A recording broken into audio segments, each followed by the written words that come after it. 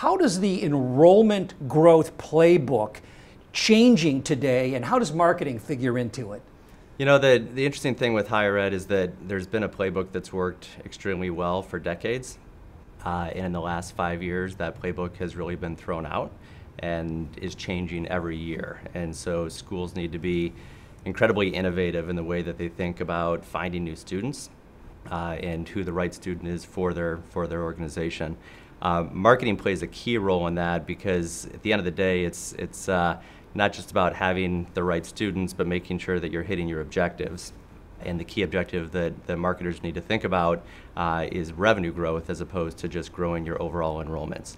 Uh, and so marketing plays a key role in making sure that you're employing the best practices to, to find the right students, to grow the numbers in such a way that you're protecting the revenue of the school um, and also hitting all those, those key KPIs that you have as an organization.